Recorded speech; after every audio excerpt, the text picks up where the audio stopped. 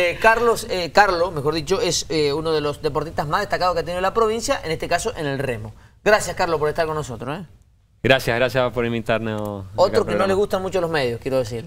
sí, no, no mucho, pero bueno, cuando hay oportunidad también venimos. ¿no? Bueno, Carlos, asumiste como técnico del Club Mendoza de Regatas este, y, queríamos invitarte básicamente porque además el remo a Mendoza le ha dado muchos eh, buenos resultados. Mira, justo te veníamos hablando del tema de los resultados de esto, vamos a destacar porque en definitiva ha sido así también. Así exactamente, sí, da, dimos por culminar la, la etapa deportiva. Ahora estamos eh, finalizando los estudios y bueno, empecé a, trabajar ahí en, el club como entrenador con los chicos de la enseñanza y bueno, empezando a, tomar herramientas desde otro lado, digamos. ¿Qué, de lo que escuchaste recién, que, estábamos charlando un poco justamente fuera de cámara, vos que has competido en la élite del remo mundial? Sí, bueno, yo creo que estaban hablando del tema de las presiones, yo creo que hay personalidades y personalidades. Tanto los entrenadores tienen que entender eh, qué personalidad tiene el chico, por ahí en, algunos casos tiene que ser más autoritario, en otros casos más democrático. Justamente con Panchito lo tuve unas clases ahí en, el 10, fue profesor mío.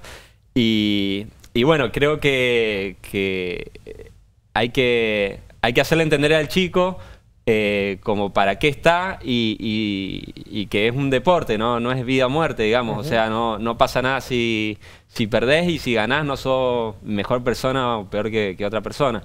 Creo que por ahí va la, enseñanza desde chicos, digamos, a qué se va a enfrentar el chico y, tratar de guiarlo en que no, no, tenga frustraciones, porque, o sea, las frustraciones las va a tener y va a tener muchas más frustraciones que... Sí, mucho más, va a perder mucho más. Eh, claro, exactamente. Y tampoco está mal tenerlas, el tema es cómo actúas Exactamente, hay que enseñarle a, bueno, fue mal, bueno, dijimos no, ¿qué pasó?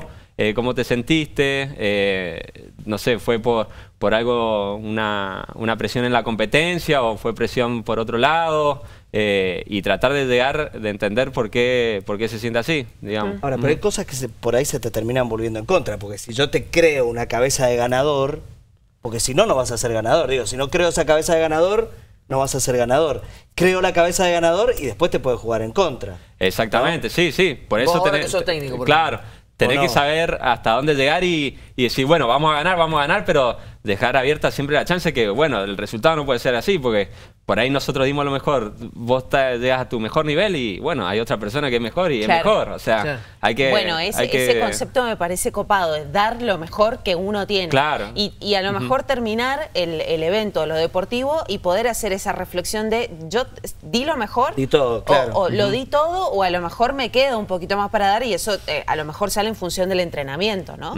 Exactamente, sí, yo, bueno, la experiencia más mala que tuve, o sea, que, que más me frustró fue en el Panamericano del 2015 mm. en Toronto que, que habíamos ganado la, semifinal, todo, estábamos para ganar o ser medalla seguro. Y, bueno, y por ahí te, te tropezás con ese pensamiento y, corrimos la final y no, salimos cuarto, quinto, ya ni me acuerdo, pero me acuerdo que después de esa de, ese resultado, bueno, fueron un par de meses duros, digamos, pero bueno. con las redes? O, qué le decía a los pibes ahora? Porque también se generan eso, ¿no? Por ahí vos decís, me fue mal y no me quiero ni meter en las redes para ver qué dicen de mí. Claro, exactamente. Yo creo que las redes sociales por ahí te dan una presión extra a lo, a lo que haces. Eh, bueno, hay hay casos ¿no? Eh, del final Pignatello, creo, que, la leí, no, es algo que seguí, pero eh, en un cierto momento dijo que, iba a dejar las redes porque era algo que, ya no lo podía controlar. Es que es incontrolable. Y dejó el deporte, o sea, dejó la práctica profesional. Era la, es tremendo nadadora excepcional.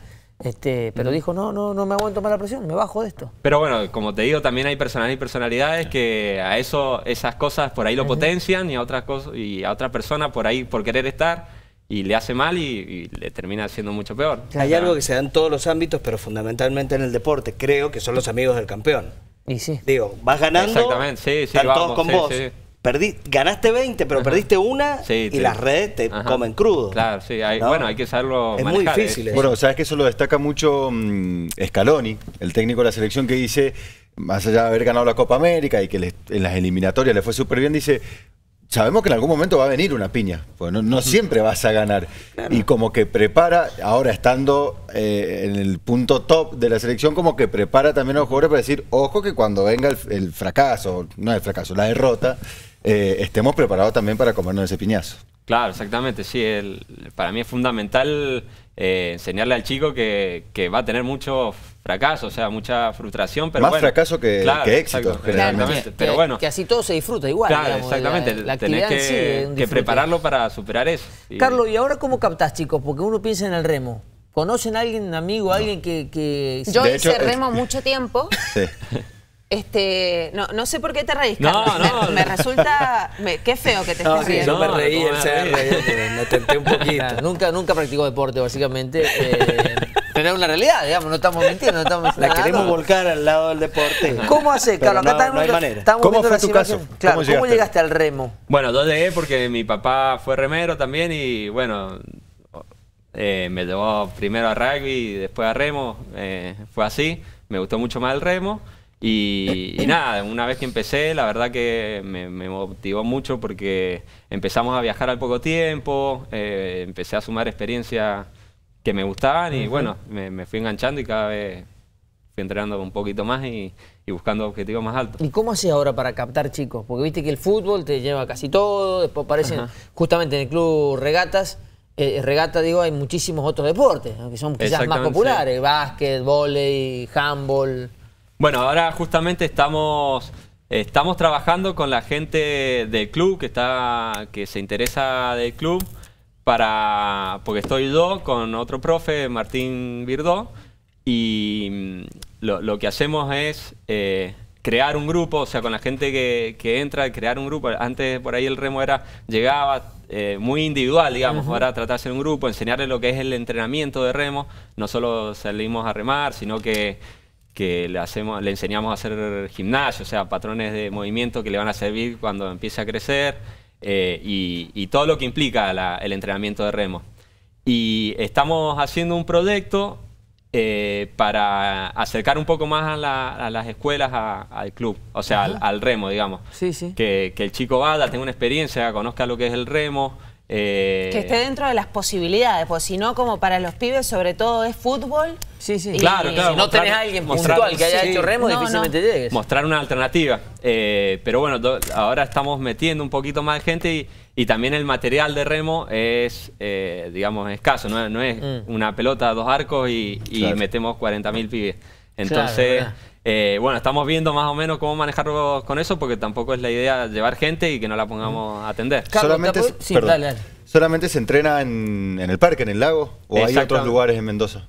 Eh, bueno, ahora sí, entrenamos en el, en el club, pero bueno, sería eh, buenísimo que, que podamos sumar otra sede en Potrerillos, en otros lados. ¿Qué- ¿Esto de Potrerillos es una posibilidad real? Para, no sé si tenés algo de data, quizás no tenés nada de información al respecto, porque eh, Regata tengo entendido que viene intentando quedarse, no sé si quedarse o cómo es el término correcto, pero poder tener eh, uso en, en Potrerillos, porque eso es agua, es distinto el lago, que está cerrado, a agua abierta. Sí, sí, la, la verdad, o sea, en mis últimos años de, que estuve remando, empezamos a ir a Potrerillos porque la, la calidad de entrenamiento que, que sumás, la verdad que, que es muy, muy superior a remar en el lago. Nosotros corremos en 2000 metros y el lago tiene 700, entonces Claro. necesitamos mucha más distancia para, para remar. Y desde que empezamos a ir, siempre el interés del club ha sido eh, establecerse ahí, tener un lugar, porque es muy complicado ir por el día, tener que llevar los botes, traerlos. Necesitamos un predio que, que esté ahí para tener el material. Y, y bueno, desde que empezamos a ir, empezamos las gestiones, pero con todo este tema de la licitación, siempre estuvo como un poco frenado. Y ahora que se ha licitado con el presidente Jorge Aguirre, eh, se está avanzando mucho más, más rápido, ahora como que se ha abierto la posibilidad de, de establecerse ahí en Potre. Bueno, Salvando, ojalá, ojalá. salvando esos dos lagos, el del parque y el de Potrerillos, no hay otro lugar donde ir a Eh, practicar en el remo? Carrizal, en el Carrizal Ah, también, Carrizal. eh, el club tiene ahí una sede, pero lo que pasa con el Carrizal que el tema de vientos por ahí es mucho más inestable que en Potrerillos. Por ahí en Potrerillos en la mañana generalmente eh, no hay viento, entonces eh, eh, se, dan las claro, se dan las condiciones espe- especiales para, para que podamos practicar ¿En nosotros. invierno entrenan igual? Sí, sí, no, eh, incluso yo cuando remaba con, con Colomino, que era un compañero de Buenos Aires, vinimos, hicimos una concentración ahí en Potre en agosto, la segunda Ajá. quincena de agosto y, y no, sí, la verdad que fue, salió bien. sí, sí, no. Carlito, porque pega el frío, sol y- pero bien. No, pero pega el sol y da moviéndote, zafa. no, sí. Ya después lo vamos a mostrar al presidente, a ver si efectivamente puede, para ver cómo va este tema de Potrerillos, porque también está, ¿no, Agustina? Claro. Es una cuestión sí. política y vamos a ver si el club se queda o le dan un espacio para que puedan practicar remo. Eh, producción me va a matar, poneme la imagen un chiquito más, que hagamos escuela, ya que lo tenemos a Carlos, y cerramos, porque no sé cuánto sabemos de remo. Cuando decimos ocho par, doble par, eh, pongamos unas imágenes y vos nos decís qué es justamente ese, claro, con timonel, sin timonel. Eh, Joel Infante es timonel, ¿no? De ustedes, o era Eh, por lo menos. No si Exactamente, tiene sí, más. sí, Doel sigue ahí siendo timonel. ahora ¿Qué es el timonel? El timonel es el que lleva la dirección del bote. Cuando Ajá. los botes son muy grandes, eh, va un, un timonel que, que lleva la dirección y también ordena, Claro. digamos, porque al haber más, cada vez más integrantes en el bote, Claro, eh, hay hay que que, es más difícil la coordinación entre todos. Entre todos. Por ejemplo, mira, ¿esto qué es? ¿Cuatro? Eso es un 4 sin timonel. Sin Fíjate, timonel. Son cuatro personas con un remo de cada lado. ¿Qué se dice ahí? No. ¿Par o impar? Eh, no, es cuatro sin timonel. Así se dice. Claro, Así cuan- se dice. cuando se dice par, Sí. es que tienen dos remos cada uno. Bien. ¿Y ni- Y ahí ninguno, al no tener timonel, ninguno da la orden de arranque, por ejemplo, para ir todos al mismo tiempo? Ahí el que, el que va adelante, por ejemplo, ahí tiene timón, Claro, timonel. ajá, el de adelante. Eso es, es un 8 con timonel. ¿Y el Pero se- tipo que se- te, te va gritando todo y te dice izquierda, derecha? Claro, él lleva la dirección, va moviendo el timón y, y te va alentando, te va corrigiendo si alguien va haciendo mal, si alguien va entrando a destiempo. Es va- clave, es clave la fuerza de hombro, me imagino acá, ¿no? Sí, el- el- es muy, muy completo el remo. Eh, es más fuerza de piernas y espalda, digamos. ¿ah? Por ahí se piensa que el remo siempre hace todo el mundo así, pero es fundamental la... Que solamente brazos y no. Claro, es fundamental la fuerza de piernas y, y bueno, y, y tener fuerte toda la zona media para transmitir es, la fuerza de las piernas. a- ¿Pero las piernas las tenés quietas o, o se mueven? No, antes? vos vas flexionando las piernas. O sea, el- vos vas sentado en un carrito que se va, va para adelante y para atrás. Ujú. Eh, Carlos, nos quedó corto el tiempo. Ajá, Fíjate bueno, lo que son las cosas. sí. Pero bueno, es un gusto. Queríamos contar, yo particularmente, que ya es técnico, que dejó la actividad, digamos, este, profesional, no casi profesional, no sé si llegaste a ser profesional, porque rentado, evidentemente, no, no, no lo era, de alguna beca, Ah, sí, quizás. a traer una beca, sí, sí. pero, no, no sí. mucho más que eso, este, que no es poco en, en- en nuestro No, no, país, todo suma. Para la estructura deportiva. Y ya, bueno, los papás que estén mirando, que se arrimen, eh, que los lleven, que los convoquen a los chicos, porque van a tener un, un profesor o un DT de excelencia, claramente. Exactamente. Que se acerque la gente al remo, que es un deporte muy completo y bueno, y, y transmite muchos valores. Eh, Carlos, querido, muchas gracias.